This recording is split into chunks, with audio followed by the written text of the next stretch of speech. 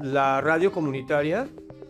ya no solamente es radio como tal, sino forma parte de algo más grande que es la comunicación comunitaria, ¿no? Donde entran muchísimos ejercicios de distinto tipo que no solo son la radio, pero que tienen la misma intención de incluir, de hacer las cosas más variadas, etc. Ya podemos hablar de que la comunicación comunitaria es una cultura que está en muy diversos ámbitos, que abarca muy diversas situaciones, que como cultura también tiene una importancia, ¿no? Ya no solamente es un movimiento social, político, ha logrado transformar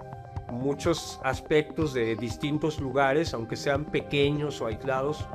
pero también ha logrado expandirse a tal grado que, bueno, pues, o sea, en el continente al menos hay múltiples ejercicios de comunicación comunitaria en todos los países, en distintos lados. Como elemento esencial de la práctica reciente de la radio eh, está la conectividad, tanto para compartir como acceder a contenido, como acceder a bancos de sonidos, como acceder a música,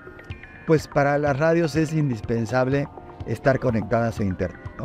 Y muchas de las radios a partir de ahí también eh, tienen la posibilidad de compartir ese Internet con la comunidad, de entonces generar otros servicios eh, adicionales a la comunidad, como es la prestación del servicio de Internet.